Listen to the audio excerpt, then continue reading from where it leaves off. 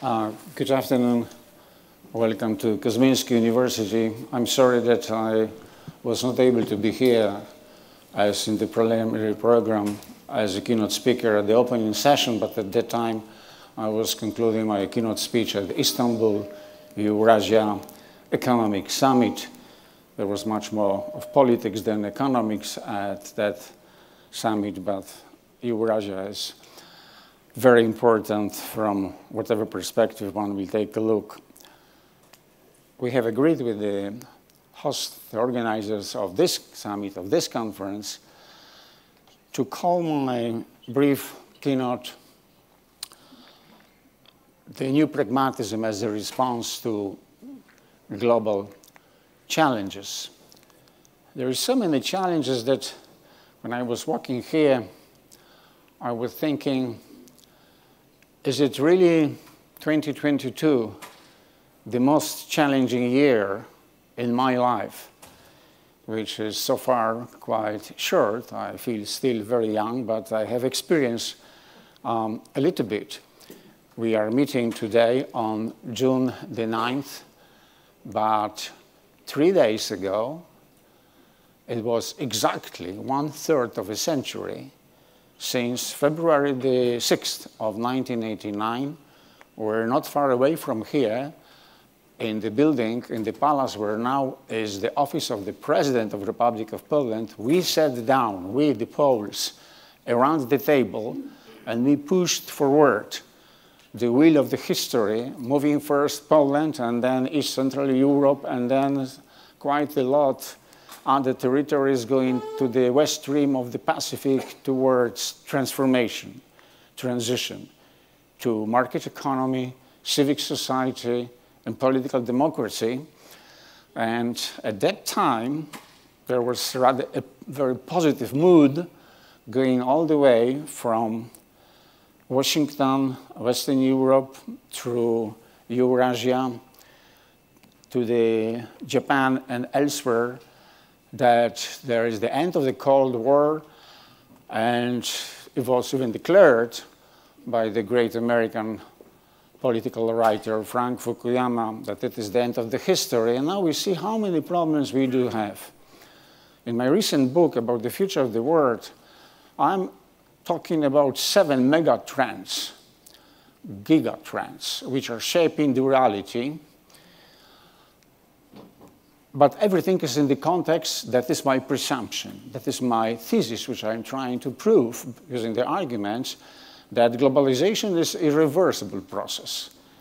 Not more than a day ago, I read an essay by the intellectual leader and the founder of this university, Professor Kozminski, in Polish, when he says, and I disagree, with Professor Kozminski that this is the end of globalization. The Cold War, the hot war in Ukraine, the, this crisis and that crisis, this is the end of globalization. Globalization will continue because of the power of trade, because of the meaning of supply change, because of non-economic factors. We love world culture, we love to travel, and business is a beneficiary of globalization, and for that reason, against all the political winds, I think it will take over. But of course, there are turbulences. There are the problems, there are ups and downs, mostly recently more downs than ups. So what are these mega trends? First, these are the demographic changes. Uh, we continue the flight of the moth to the fire by decrease, increasing too fast the number of the people, when the first industrial revolution took off, there was 1 billion people. And in two years' time, there will be 8 billion people. And there is a very great imbalance because the rate of fertility goes from 1.1 in Singapore to 6.8 in very poor, one of the poorest countries in the world, Niger. It is unsustainable. It fuels the, the people migration to very to, to richer countries, not only because of the ethnic or military conflict, which is also the case of my country of Poland recently because of the uh, disgraceful Russian invasion of uh, Ukraine, which pushed many people to leave the place of the birth, but elsewhere by the miserable economic conditions. And now in some parts of the world, the situation, the situation does deteriorate with the fuel immigration still farther. Uh, we are aging, which is good news if one is healthy and wealthy, and not necessary if one is lacking the resources to provide everything what is the necessities to sustain the life um, at the late uh, age. Second great problem, this is the environment change. There is a great deal of knowledge about that. Let me only touch the issue of depletion of non-renewable resources and the warming of the climate, and I will come to this point at the conclusion. The third one is non-inclusive globalization.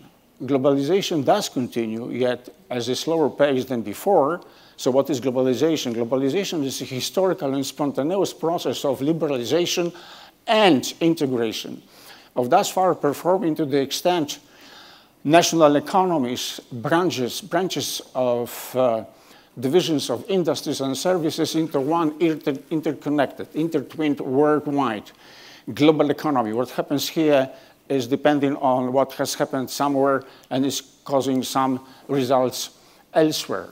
And per se, it is good for economic growth and economic development. What that does mean that for everybody, and somebody is the loser, depends on the business strategy, it depends on the economic policy strategy. When I was in charge of Polish economy as Deputy Prime Minister and Minister of Finance, my program was called Strategy for Poland.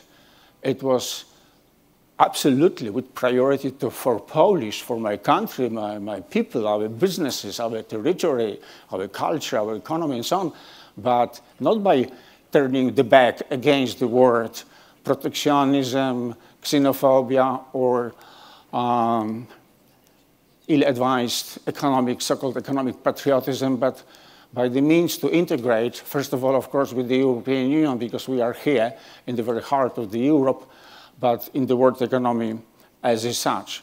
But it has happened because of the very much influential neoliberalism, which is the theory and practice of wrong deregulation and, and, manipulation of the fiscal system, taxes, transfers, and expenditures to, enrich, uh, enriching the few at the cost of many that globalization became somehow also going along the line of neoliberalism, and for, very, for that reason, some regions, some social strata were rather the losers.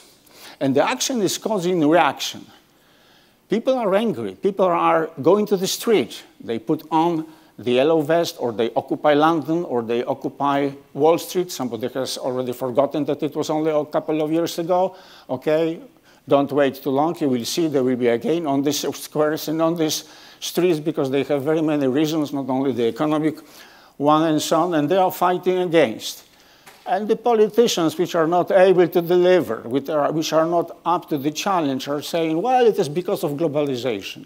No, it is because of the wrong economic policy response to the conditions of globalization, because some countries, as different as Poland for most of the recent 33 years, or the uh, great successful from economic growth perspective, China, or small countries like, say, Singapore, or big uh, 100 million plus people, almost like uh, Vietnam, they show that they may combine with different political systems, democracy or meritocratic-based authoritarian regime to take globalization to their, uh, to their advantage. And then we have the fourth mega process, which is the technological progress. Mostly good news are coming from here, but do not make a mistake. Technological problems is able to solve a plethora of problems we do have, but definitely not all of them. There will be lack of certain resources, which we feel already. For instance, certain metals uh, of the uh, rare earth, which are a must for um, digitalization of the economy for, for, the hardware or for transfer to the green uh, renewable technologies and so on. And it's also some other problems on the social side of our performance, say, people's surveillance and so on. But in the longer run, technological progress is actually the one of these mega seven trends in which we can put a trust and a little bit of confidence and optimism. And then the fifth one is the crisis of neoliberal capitalism. I have defined what I mean. I said what I mean but neoliberalism. And you may see the failure of this capitalism starting from our European Union, at least part of it, or the United States, especially under the disastrous presidency of Donald Trump. And when I hear that it is possible that he will be running again, and then he can come back to White House, uh, that would be the horrible news, at least according to my values and my approach to the economic and uh, sense of word economy. And then there is the sixth process, which is shaping the reality. This is the crisis of liberal democracy. 33 years ago, here, we didn't use the term. We were going to democracy. That was enough. Then we learned that there is something like liberal democracy because we have learned that there is also something like illiberal democracy, not far away. For instance, under Mr. Orban in uh, Hungary. But I would say that in more and more of the countries, there is the less of this liberal democracy, and in some countries of different type, democracy has failed. Recently, in developing countries, say in Lebanon or in Sri Lanka, but I would say that actually what is going on in the United States is also a failure of liberal democracy. They are not able to solve such a basic problem like avoiding killing the kids, the pupils in the primary school, because there is democracy. They have accepted the bill in the House of Representatives, and it will be rejected according to this democracy in the Senate, because this is how democracy works, which is in our culture something unthink unthinkable, but is something which is obvious across the Atlantic Ocean. But on the economic side, we see that there is more and more economic problems, which we see now, and they are looking for somebody to blame with inflation, risk of stagflation. Actually, we do have stagflation already if it is defined as the process of acceleration of the price rise and at the same time slowing down of the rate of economic growth, not literally stagnation, that is zero growth and inflation. Again, it depends very much on definition. And then there is the conclusion is come, everything is bringing me to the conclusion that the biggest challenge is warming the climate. And I'm saying that there is very unlikely, if possible, very unlikely, that we, the mankind, the humanity, the civilization of 22nd century, will be able to counteract warming of the climate, which is going on in democratic and peaceful way without turning down military build up. And now we are continuing the suicide day after day. In Poland, one of the most stupid decisions which the parliament could take, it was taken a couple of months ago there was not a single vote against, either in our house or in the upper house. Not a single one. They raised the military expenses called defense to 3% of GDP. That's the share. If you're raising the share from 2% to 3%, you should be honest and you should say to the people where you are going to cut by 1% point. Is it culture or education? Is it healthcare or infrastructure? Is it environment or, or subsistence support for knowledge-based economy? I never heard a word about that. Where is it's coming from? 30 billion zlotys next budget year to pay for that? By raising the taxes or by raising the public debt? I heard no word about that. So it is going all over the world, and there is the military build up, there is the military race, because we are in the new Cold War, since a couple of years, I refer to it as the second Cold War because the first was over because of our round table and some good political leaders at one third of a century ago. So, to put it in a nutshell, we are aging, which is good news. But aging is costly, also for the public finance, because it imposes a burden of the healthcare. There's different system of healthcare in US and in Poland or in China and in Germany, but everywhere it is very costly for public finance. And it is going to increase objectively as long as we are be aging. There are some other costs which are unavoidable on the public finance. Second, private business is not able to finance profit-based, on profit-based approach, the shift to renewable and green energy. It must be supported by the state uh, leadership, regulation, and financing. So we do need money. And now the money, where is the money? There is no money. They are saying that there is no money. So there is money. We are wasting a lot on military build-up. In most of the countries of the world, in Russia and in US, in European Union, NATO members, and in China, in Poland and elsewhere, and we don't have enough money to uh, invest in green economy and uh, counteracting the warming of the climate. Only half a year ago, there was the, G, there was the COP, Con Conference of Partnership 26 in Glasgow, there was certain consensus. What we're supposed to do, we're supposed to cut the emission of carbon dioxide by 50% by 2030 on the uh, by mid of 2022, only half a year after this summit in Glasgow, we are on track to raise it by 13%. Somebody says that it is already too late, but I'm not saying that it is too late, but that calls for leadership. What we are lacking is not the knowledge, it's lack of courage and political leadership. My last sentence is, it was also ridiculous to say 35 years ago, cut military expenses. At the peak of the, of the Cold War, it was impossible. But then what? They came Mr. Gorbachev, Mr. Reagan, with not so good Reaganomics on the economic side, but a proper approach to nonsense of military build-up.